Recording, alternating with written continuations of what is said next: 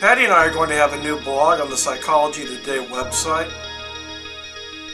We're going to be premiering it the 10th of October, which will be our 19th wedding anniversary.